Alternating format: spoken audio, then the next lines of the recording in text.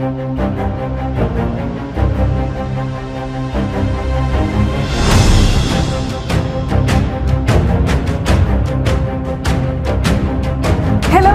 അപ്പൊ നമ്മളിതാ ഇൻഫിനിറ്റോ സീരീസിന്റെ അടുത്ത സെക്ഷനിലേക്ക് ഇതാ എത്തി നിൽക്കുകയാണ്. അപ്പൊ നമ്മുടെ ഫസ്റ്റത്തെ എപ്പിസോഡൊക്കെ നമ്മൾ കംപ്ലീറ്റ് ചെയ്തു. അതിൽ നമ്മൾ എന്ത് പഠിച്ചു? കുറച്ച് എം സി ക്യൂലുള്ള എം സി ക്യൂ ലെവലിലുള്ള കുറച്ച് ക്വസ്റ്റ്യൻസ് നമ്മൾ ഡിസ്കസ് ചെയ്തു അല്ലേ? ആൻഡ് ഇന്ന് നമ്മൾ റിയൽ നമ്പേഴ്സ് എന്നുള്ള ചാപ്റ്ററിലെ ഏറ്റവും ഇമ്പോർട്ടന്റ് ആയിട്ടുള്ള ഒരു സെക്ഷനിലുള്ള ക്വസ്റ്റ്യൻസ് ആണ് ഡിസ്കസ് ചെയ്യാൻ പോകുന്നത്. നമുക്കറിയാം നമ്മുടെ ഈ ചാപ്റ്ററിലെ മോസ്റ്റ് ഇമ്പോർട്ടന്റ് ആയിട്ടുള്ള ഒരു പാർട്ടാണ് L C M and H C F എന്ന് പറയുന്നത്. കാരണം നമ്മൾ ഫണ്ടമെന്റൽ തിയറം ഓഫ് അറ്റമെറ്റിക് പഠിച്ച അതിന്റെ അപ്ലിക്കേഷൻ ആയിട്ടാണ് നമ്മൾ ഈ എൽ സി എമ്മും അതുപോലെ തന്നെ എച്ച് സി എഫും കണ്ടുപിടിക്കുന്നത്. പഠിച്ചിട്ടില്ല അല്ലേ? അപ്പൊ ആ ഒരു ഭാഗത്ത് നമ്മുടെ എക്സാമിന് ഏതൊക്കെ ടൈപ്പിലുള്ള ക്വസ്റ്റ്യൻസ് ആണ്? ഇപ്പൊ എം സി ക്യു ലെവലിലുള്ള ക്വസ്റ്റ്യൻസ് ഏതൊക്കെയാണ്? അതേപോലെ തന്നെ ഷോർട്ട് ആൻസർ ടൈപ്പിലുള്ള ക്വസ്റ്റ്യൻ ഏതൊക്കെയാണ്? ഇനി അതൊക്കെയാണ് നമ്മൾ ഇനി കണ്ടിന്യൂസ് ആയിട്ട് ഡിസ്കസ് ചെയ്യാൻ പോകുന്നത്.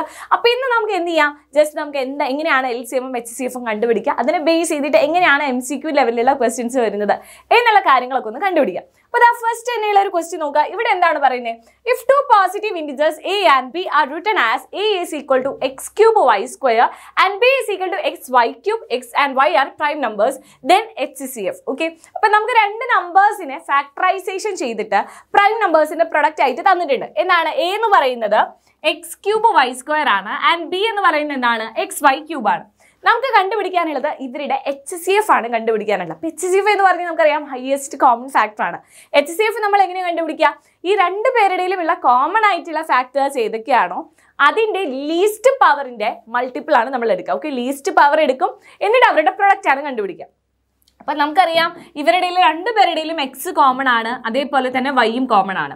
എക്സിന്റെ ഏറ്റവും എന്താണ് ലീസ്റ്റ് പവർ എന്ന് പറയുന്നത് ഏതാ? ഇവിടെ എക്സ് ക്യൂബ് ഉണ്ട് ഇവിടെ എക്സ് ഉണ്ട്. സോ ലീസ്റ്റ് പവർ എന്ന് പറയുന്നത് എക്സ് റേസ് ടു വൺ ആണ്. ദെൻ വൈയുടെ ലീസ്റ്റ് പവർ ഇവിടെ വൈ സ്ക്വയർ ഉണ്ട് ഇവിടെ വൈ ക്യൂബ് ഉണ്ട്. സോ വൈ സ്ക്വയർ ആണ് ലീസ്റ്റ് പവർ എന്ന് പറയുന്നത്. അപ്പൊ എക്സ് ഇന്റു വൈ സ്ക്വയർ എന്ന് പറയുമ്പോൾ എന്താണ്? എക്സ് വൈ സ്ക്വയർ എന്ന് പറയുന്നതായിരിക്കും ഇവിടുത്തെ എച്ച് സി എഫ് എന്ന് പറയുന്നത്. സോ ഓപ്ഷൻസിൽ ഏതായിരിക്കും കറക്റ്റ് ഓപ്ഷൻ ബി ആയിരിക്കും നമ്മുടെ റൈറ്റ് ആൻസർ ഓക്കെ അപ്പൊ എം സി ക്യു ലെവലിൽ എൽ സി എമ്മും എച്ച് സി എഫും ഈ ഒരു പാറ്റേണിലായിരിക്കും നിങ്ങളടുത്ത് ചെയ്യുക അപ്പൊ എൽ സി എമ്മും എച്ച് സി എഫും എം സി ക്യു ലെവലിൽ ചോദിക്കാറുണ്ട് ഷോർട്ട് ആൻസർ ടൈപ്പിൽ ചോദിക്കാറുണ്ട് കേസ് സ്റ്റഡിയുടെ ഉള്ളിലായിട്ടും ചോദിക്കാറുണ്ട്. അപ്പോൾ പല രീതിയിൽ തന്നെ എൽ സി എമ്മും എച്ച് സി എഫും കണ്ടുപിടിക്കുന്നത് വരാറുണ്ട്. സോ ഇത് വളരെ ഇമ്പോർട്ടന്റ് ആയിട്ടുള്ള ഒരു സെക്ഷൻ ആണ് കേട്ടോ. അപ്പോൾ എച്ച് സി എഫ് നമ്മൾ ഈ ഒരു രീതിയിലാണ് കണ്ടുപിടിക്കുക. അങ്ങനെയാണെങ്കിൽ എൽ സി എം എങ്ങനെയായിരിക്കും? ഇവിടെ നമ്മളെടുത്ത് ചോദിച്ചിട്ടുള്ളത് എച്ച് സി എഫ് ആണ്. എന്നാൽ പോലും നമുക്ക് എന്ത് ചെയ്യാം? എൽ സി എമ്മും കൂടി ഇതിനൊന്ന് കണ്ടുപിടിച്ചേക്കാം. എം കണ്ടുപിടിക്കാനാണ് പറഞ്ഞിരുന്നതെങ്കിൽ നമ്മൾ എന്താ ചെയ്യുക എക്സും വൈയും തന്നെയാണ് നമ്മൾ എടുക്കുക ഇവിടെയുള്ള രണ്ട് ഫാക്ടേഴ്സ് ഇവരുടെ എന്ത് പവർ എടുക്കണം? നമ്മൾ ഹയ്യസ്റ്റ് പവർ ആണ് എടുക്കേണ്ടത് അല്ലേ? അപ്പോൾ ഹയ്യസ്റ്റ് പവർ എന്ന് പറയുമ്പോൾ എക്സിന്റെ ഹയ്യസ്റ്റ് പവർ എക്സ് ക്യൂബ് ആണ്. വൈയുടെ എന്താണ് നമ്മൾ എടുക്കേണ്ടത്? ഹയ്യസ്റ്റ് പവറാണ് ആണ്. ഹയസ്റ്റ് പവർ എന്ന് പറയുമ്പോൾ എന്താണ്? വൈ ക്യൂബ് ആണ്. സോ എൽ സി എം എന്ന് പറയുമ്പോൾ എക്സ് ക്യൂബ് വൈ ക്യൂബ് വന്നേനെ. എച്ച് സി എഫ് എന്താണ്? എക്സ് വൈ സ്ക്വയർ ആണ്. നമ്മുടെ അടുത്ത് ചോദിച്ചിട്ടുള്ളത് എച്ച് സി എഫ് ആണ്. എച്ച് സി എഫ് ആണ് നമ്മളടുത്ത് ചോദിച്ചിട്ടുള്ളത്. പക്ഷേ എൽ സി എം കണ്ടെത്തുമായിരുന്നെങ്കിൽ അതെന്തായേനെ? X cube Y cube ആയിരുന്നേനെ.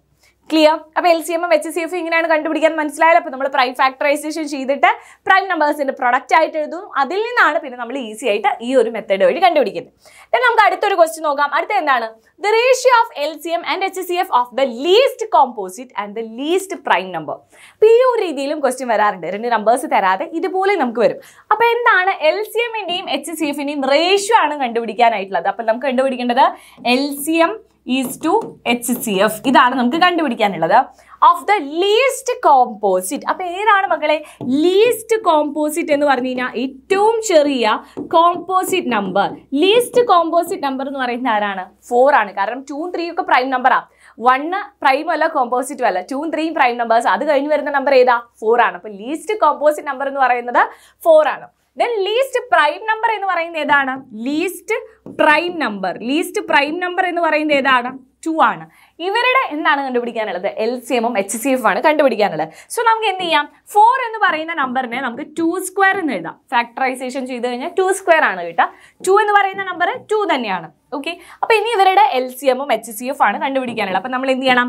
L C M എന്ന് പറഞ്ഞു കഴിഞ്ഞാൽ ഇതിലെ കോമൺ ആയിട്ടുള്ള ഫാക്ടർ രണ്ട് ഫാക്ടർ ആകെ ഒരു ഫാക്ടർ വരുന്നുള്ളൂ ടു ആണ്. അപ്പൊ ടു എന്ന് പറയുന്ന ഫാക്ടറിന്റെ highest power that is two square is equal to four ആയിരിക്കും ഇവരുടെ L C M H C F എന്ന് പറയുന്നത് എന്തായിരിക്കും? ടുവിന്റെ least power that is two തന്നെയാണ്. ഓക്കെ എച്ച് സി എഫ് എന്ന് പറയുന്നത് ടു ആണ്. ഇനി ഇതെല്ലാം നമ്മളടുത്ത് ചോദിച്ചില്ല നമുക്ക് ഇവരുടെ റേഷ്യോ ആണ് ചോദിച്ചിട്ടുള്ളത്. സോ റേഷ്യോ എന്ന് പറയുമ്പോൾ എന്തായിരിക്കും വരിക? റേഷ്യോ എന്ന് പറയുമ്പോൾ L C M is to H C F that is equal to four is to two four is to two എന്ന് പറയുമ്പോൾ എന്താണ്? ടു ഈസ് ടു വൺ ആണ് നമ്മുടെ കറക്റ്റ് ആയിട്ടുള്ള ആൻസർ സോ ഓപ്ഷൻ ബി ആണ് ടു ഈസ് ടു വൺ ആണ് നമ്മുടെ right ആയിട്ടുള്ള ആൻസർ എന്ന് പറയുന്നത്. അപ്പോൾ ഈ ഒരു രീതിയിലാണ് നമ്മൾ എൽ സി എമ്മും എച്ച് സി എഫും മക്കളെ കണ്ടുപിടിക്കുന്നത് ആൻഡ് ഈ ഒരു ഭാഗത്ത് തന്നെ വേറൊരു ടൈപ്പുള്ള ഒരു ക്വസ്റ്റ്യൻ കൂടി വരാറുണ്ട് അതാണ് നമ്മുടെ അടുത്ത question L C M of two numbers is two thousand four hundred which of the following cannot be their H C F ഈ ഒരു രീതിയിലും നമ്മുടെ അടുത്ത ക്വസ്റ്റ്യൻ വരാറുണ്ട്. അതായത് നിങ്ങൾ മനസ്സിലാക്കേണ്ട ഒരു കാര്യം എന്ന് പറയുന്നത് എൽ സി എമ്മും എച്ച് സി എഫിന്റെ ആ ഒരു കണക്ഷൻ മനസ്സിലാക്കി കഴിഞ്ഞാൽ എന്റെ കുട്ടികളെ ഈ ഒരു കാര്യം കൂടി മനസ്സിലാക്കുക L C M into L C M of two numbers okay A B എന്ന് പറയുന്ന രണ്ട് നമ്പേഴ്സിന്റെ എൽ സി എമ്മും അതേപോലെ തന്നെ എച്ച് സി കൂടി നമ്മൾ മൾട്ടിപ്ലൈ ചെയ്ത് കഴിഞ്ഞാൽ നമുക്ക് കിട്ടുന്നത് എ ഇന്റു ബി ആയിരിക്കും. ആ രണ്ട് നമ്പേഴ്സിന്റെ പ്രൊഡക്റ്റ് ആയിരിക്കും. അപ്പോൾ ഇതിൽ നിന്ന് നമുക്ക് മനസ്സിലാക്കാനായിട്ട് പറ്റുന്ന കാര്യം എൽ സി എം എന്ന് പറയുന്നത് is always divisible by H C F L C M എന്ന് പറയുന്നത് എപ്പോഴും എന്തായിരിക്കണം?